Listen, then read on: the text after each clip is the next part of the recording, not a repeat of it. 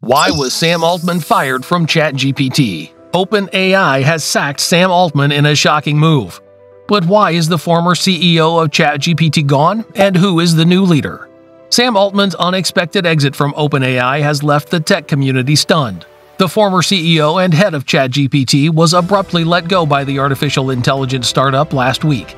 Based on current information, OpenAI CEO Sam Altman is expected to return today along with a redesigned board. To be honest, nobody anticipated this outcome, especially after Altman oversaw OpenAI's inaugural developer conference and assisted in the introduction of its newest product and language model, ChatGPT 4 Turbo. The word on the street over the weekend was that Altman, who was just fired, would return to the OpenAI throne with all the drama and speed of before. Nevertheless, that did not happen, and the business has now named a temporary CEO in his place. What's the real reason Sam Altman was fired? The board of OpenAI, which announced Altman's exit from the company, stated that the former CEO's lack of constant candor in board meetings was the reason behind the decision.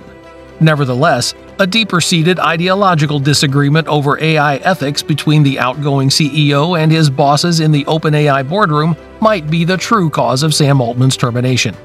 Some board members who favored a more conservative approach disagreed with Altman's strategy of vigorously pushing AI development, according to CNN and its journalist Kara Swisher, who claims to have spoken to individuals close to the OpenAI problem. Altman's ousting, a coup for OpenAI researchers.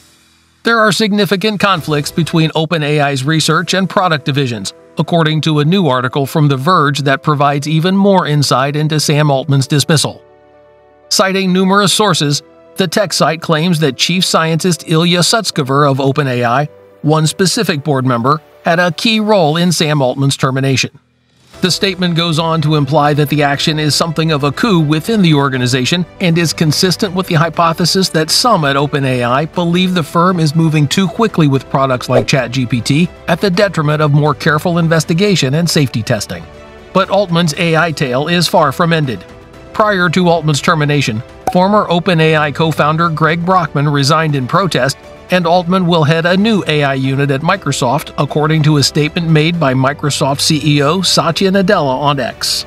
Who is the new OpenAI CEO? Though turmoil has ruled at OpenAI in recent days, it seems that the business is finally putting the Altman period behind it, even if doing so may have costs.